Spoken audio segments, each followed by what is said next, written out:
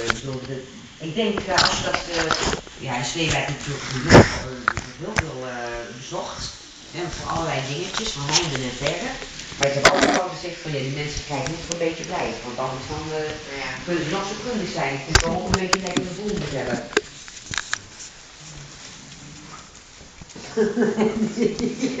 Dat wordt een heel grappig. Als die het